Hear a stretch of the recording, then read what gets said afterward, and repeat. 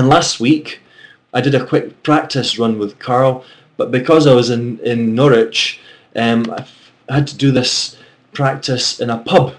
So here I am last week. What day was this? It was, I think it was, it was Sunday, so it was exactly a week to go, a week ago today, and I was with Carl doing a quick run through this. It was funny actually because I was in this pub and um, Carl was on the other end and I was running out of batteries and I was going to have to pick up my computer like I'm doing here, move it to another table so that it could plug in. And I said to Carl, I said, Carl, don't be alarmed. I'm going to pick you up and I'm going to change table, okay? And I did it and I picked up my computer and I changed table and I sat back down. And there was quite a lot of people in the pub. It was Sunday afternoon and I realised that people were starting to look at me as if I was a bit strange.